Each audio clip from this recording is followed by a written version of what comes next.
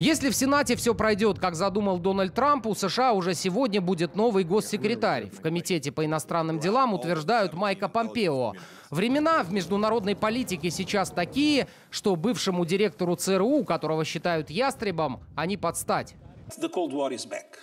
Ясно, что холодная война вернулась, но есть разница между тем, что было раньше и ситуацией сейчас. Тогда существовал большой конфликт между Соединенными Штатами и Советским Союзом. Теперь США и Россия не контролируют всех, как это делали ранее. Многие страны очень активны в ближневосточном регионе. Однако наивно полагать, что ООН может решить все проблемы. Вето стало инструментом, который используется слишком часто. Поэтому мы думаем о реформах. Из уст генсека ООН звучит беспрецедентно. По мнению Гутерреша, Совбез зафиксировал ситуацию, которая сложилась сложилось после Второй мировой войны. Так ли уж это плохо, если учесть, что с момента создания Совета Безопасности Третьей все-таки не было? Вопрос, который шведским журналистам в голову почему-то не пришел. Да и подход американцев к сирийскому послевоенному устройству мало отличается от того, который использовали для оккупированной США части Германии. Помогать в Сирии Вашингтон собирается только тем, кого считает своими, признался после министерской встречи стран «семерки» в Торонто чиновник администрации США.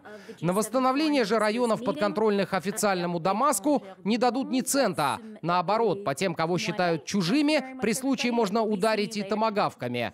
О том, что это вообще-то против правил, пытались напомнить во время антивоенного митинга в Чикаго.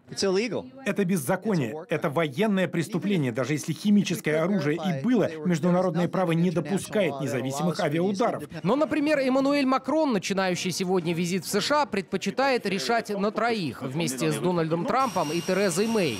Накануне поездки Макрон дал развернутое интервью телеканалу Fox News. Одна из его целей – уговорить главу Белого дома не выводить из Сирии американский контингент. В тот день, когда мы закончим эту войну против исламского государства, если мы уйдем полностью и точно, даже с политической точки зрения, мы уступим ключевые позиции иранскому режиму, президенту Сирии Башару Асаду и другим. И они подготовят новую войну, они поддержат новых террористов. В подарок Трампу Макрон везет саженец дуба из Нормандии в качестве символа дружбы. Ответный презент тоже с намеком. Это кусок обивки стула из голубой комнаты Белого дома, которую обставляли при президенте Джеймсе Монро. Суть разработанной им доктрины в том, что американский континент объявляется зоной закрытой для вмешательства европейских держав. С Россией президент Франции, правда, блуждает в трех соснах. С одной стороны, он считает, что Москва пытается подорвать западные демократии, с другой, с нескрываемым восторгом отзывается о Владимире Путине. Я думаю, что он очень сильный человек, что он сильный президент. Он хочет, чтобы Россия была великой. Люди гордятся его политикой, он силен и умен, но не будьте наивными.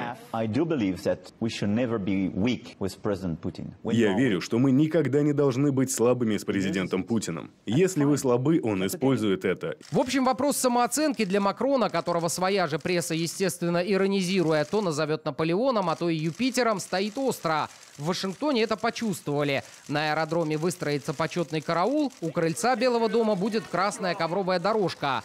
У Ангелы Меркель, которая едет в США следом, всего-то краткий рабочий визит. Но и к ударам по Сирии она, в отличие от Макрона, не присоединялась.